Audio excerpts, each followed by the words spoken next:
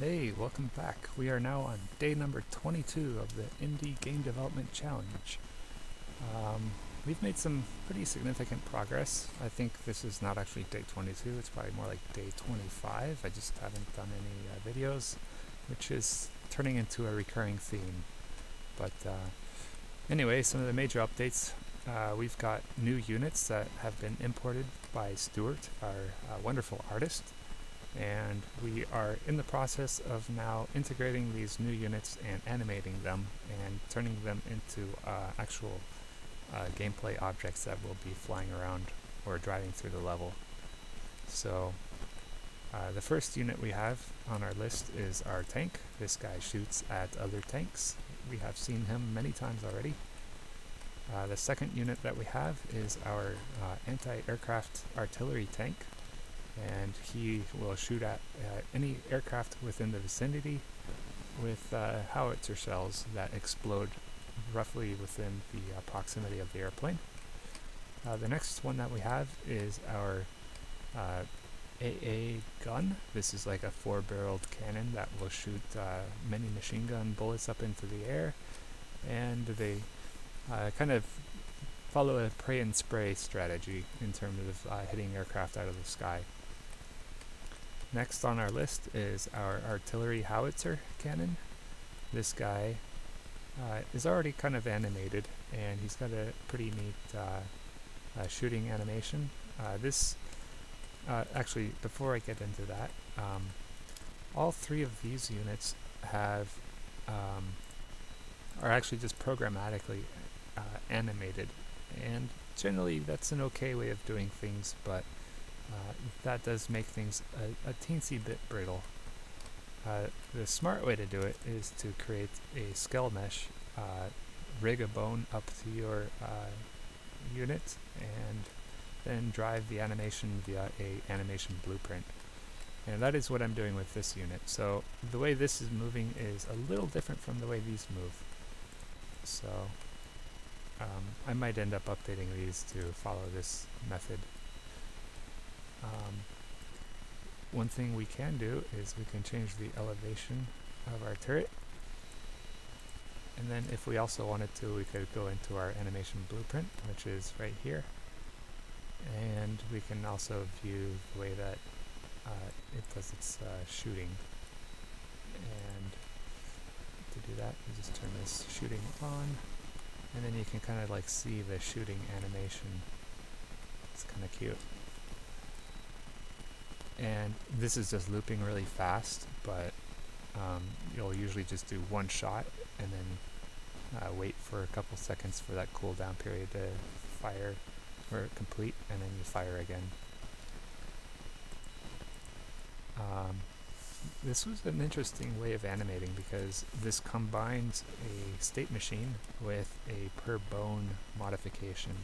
So within the state machine we've got uh, are you firing? If you are, or actually if you're not firing and you want to fire, then you play the firing animation. Once the uh, animation gets turned off, then you stop firing. It's very simple. Um, oops. So after we finish the, the state machine, we pass in the animation transform, and then uh, we we can do some additional uh, per bone animations. In this case, um, if we get the uh, elevation of the turret, we can apply uh, uh, up and down movement to the pitch of the, the gun, and it also modifies the bones for uh, these two pistons, or hydraulic booms, or whatever you want to call them. Anyway, the end effect is pretty neat. You can move the, the elevation just like so, and this is all being driven with that animation blueprint that we just looked at. Uh, next on our list, and these are not animated yet, but uh, they are coming, we've got our anti-tank gun. This is a two-barreled beast that will shoot uh, uh anti-tank projectiles at any uh, oncoming vehicles, including tanks. Um, this gun right here, I don't really know what this is going to do. So if you have any ideas, just leave some in the comments and I will probably try to uh, read them all and add them in uh, time permitting, of course. If you leave a comment like a year from now, I probably won't see that. But I'm thinking this might shoot rockets or some other nonsense. Um, then last but not least, we also have a four-barreled gun that uh, is also kind of like a defensive turret for shooting down aircraft and it's very similar to this guy guy right here it's just uh, a little bit smaller so the behaviors are going to be roughly the same. Um, we've also got uh, our player airplane now. I'll show you how that works. And this is also using the uh, animation blueprint system that the howitzer used. So it's actually turning out to be pretty versatile. I don't care about this. Why are you showing me this? Oh.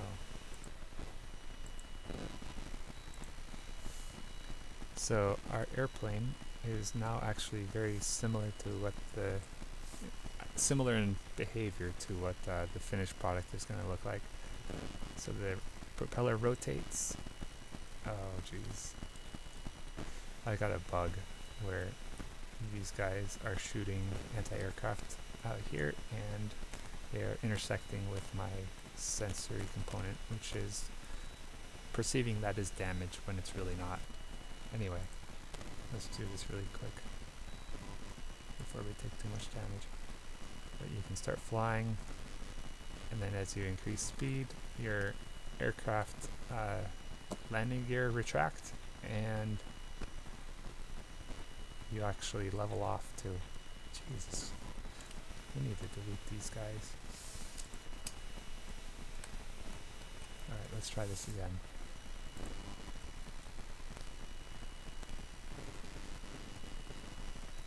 So these are just like little cool polish features that are fun to look at. And it gives your plane more of a, a, a sense of actually being an airplane. Of course there's no like real flight mechanics yet in terms of physics, so you can... Who's shooting at me? What? I got shot by my own allies. That's a bug. Anyway, this is very much still a work in progress game, so uh, there's always going to be bugs like that.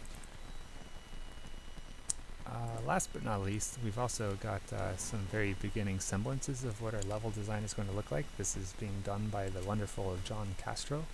So uh, he has built the very first uh, pass on what our level might look like. So we're starting to get an idea on what the background is going to look like. So I'm pretty excited. We've got beautiful trees, we've got mountains, and we've also got clouds. Um, Another thing to keep in mind is that these clouds are also a placeholder, so um, these are going to uh, probably change in uh, shape quite a bit, and I will also make them look a lot more fluffy rather than the uh, round gray spheres that we have right now. But I'm pretty excited. This game is starting to uh, take shape, and it is uh, come quite a long ways in the six weeks that we've been working on it.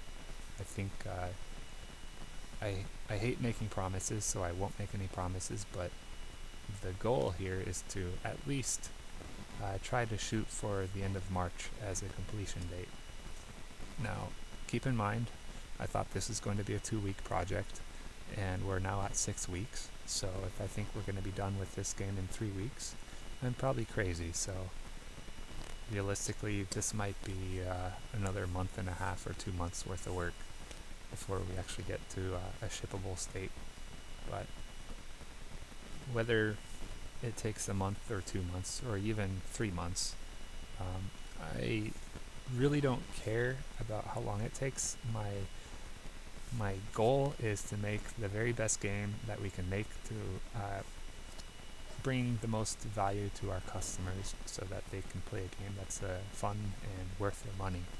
And if we can do that, then I think it's a success. So, um, yeah, that's that's kind of a, the focus of uh, where we're going with this game in terms of production values.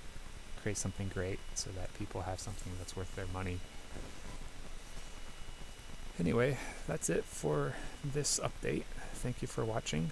Uh, stay tuned for more and I probably won't be doing videos on a daily basis just based off of my past performance, but uh, anytime I have cool stuff to show, I will certainly upload videos.